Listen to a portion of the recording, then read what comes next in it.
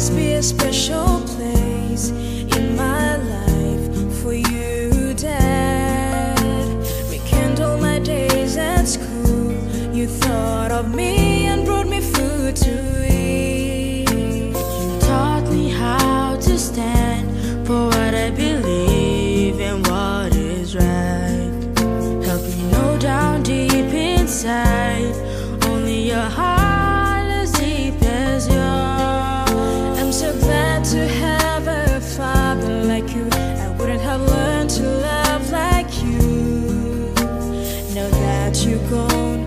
memories will linger.